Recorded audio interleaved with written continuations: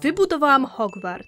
Oczywiście nie w prawdziwym życiu, nie jestem architektem, jednak stworzyłam coś w Simsach, co zajęło mi około 20 godzin pracy.